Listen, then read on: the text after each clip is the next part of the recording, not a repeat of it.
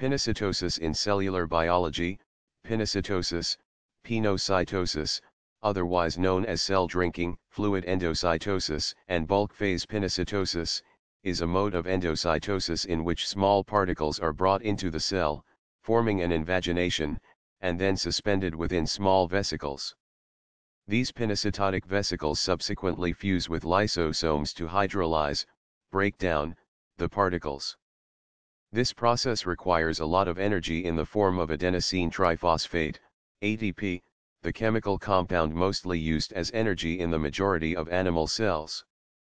Pinocytosis is used primarily for the absorption of extracellular fluids, ECF.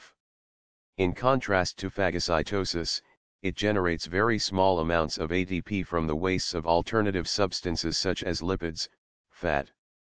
Unlike receptor-mediated endocytosis, pinocytosis is nonspecific in the substances that it transports.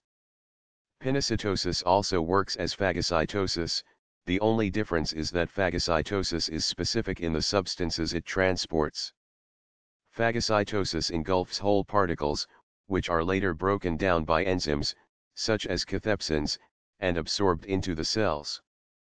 Pinocytosis, on the other hand, is when the cell engulfs already dissolved or broken down food.